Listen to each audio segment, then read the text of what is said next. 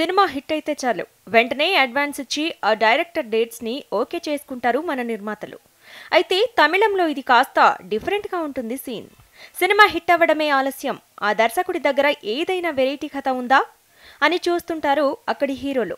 First మూవీతోనే success అందుకున్న directors మీదైతే ఇంకా ఎక్కువ కాన్సన్ట్రేట్ చేస్తారు. ఇలా ఇప్పుడు కాలీవుడ్లో కాన్సన్ట్రేషన్ అంతా ఒకే డైరెక్టర్ మీద పడింది. రీసెంట్ టైమ్స్లో అటు కాలీవుడ్తో పాటు ఇటు టాలీవుడ్లో కూడా మంచి రెస్పాన్స్ వచ్చిన మూవీ లవ్ టుడే. దీనిలో హీరోగా నటించిన ప్రదీప్ రంగనాథనే ఆ మూవీని డైరెక్ట్ కూడా చేశాడు. ఇక ఆ మూవీ హిట్తో కాలీవుడ్ కాన్సన్ట్రేషన్ అంతా ప్రదీప్ మీదనే ఉంది. జనరల్గా ఒక మూవీ హిట్ అయితే దాన్ని నిలబెట్టుకోవడానికి ఆచితూచి అడుగులు వేయాలి. అందుకే ఫస్ట్ మూవీతో వచ్చిన సక్సెస్ని నిలబెట్టుకోవడానికి తాను చేసే నెక్స్ట్ మూవీకి ఓ పర్ఫెక్ట్ హీరోని సెలెక్ట్ చేసుకున్నాడట ప్రదీప్. అది కూడా కాలీవుడ్లోనే బిగ్గెస్ట్ హీరో అయిన తలపతి విజయ్తో చేయబోతున్నాడట విజయ్ ప్రస్తుతం సంక్రాంతికి వారసుడు మూవీతో అటు తమిళ్ ఇటు తెలుగు ప్రేక్షకుల ముందుకి ఒకేసారి రాబోతున్నాడు. ఆ సినిమా పూర్తయిన వెంటనే లోకేష్ కనకరాజు సినిమా స్టార్ట్ అవుతుంది. ఈ రెండింటి తర్వాత విజయ్ ఏ సినిమా చేస్తాడు అనే విషయంలోనే ఇప్పుడు చర్చ నడుస్తోంది.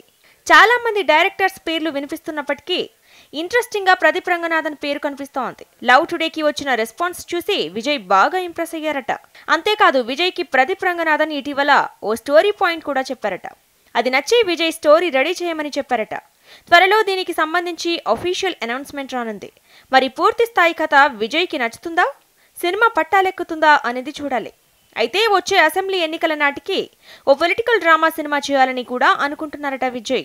మరి ఈ సినిమాలు కంప్లీట్ చేసి ప్రదీప్తో మూవీ ఎప్పుడు స్టార్ట్ చేస్తారో చూడాలి.